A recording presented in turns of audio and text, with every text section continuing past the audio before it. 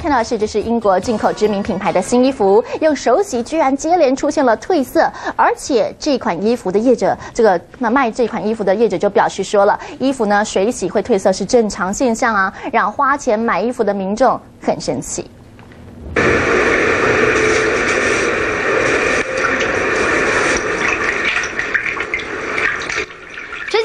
三个月大的女儿买兔子装新衣，用清水搓揉两三分钟之后，原本清澈透明的水逐渐变色，呈现茶色。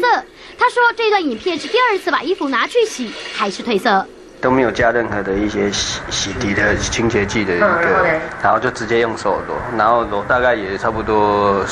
一一二十秒之后，就开始有一些呃黑色的水出现，快要呈呈现墨黑色。所以看到那个水的颜色，觉得是啊，就觉得奇怪，怎么会有那么可怕的衣料？十一月底在百货公司专柜购买这件知名英国品牌兔子装，原价上千，特价还要八百九才买得到。婴儿皮肤细嫩又敏感，衣服会褪色，家长很担心。知名的国际大厂牌怎么会呃？呃，在做品管的部分，跟它染色的部分，怎么会有像我们比我们路边摊买的还要差劲？是不是会造成皮肤的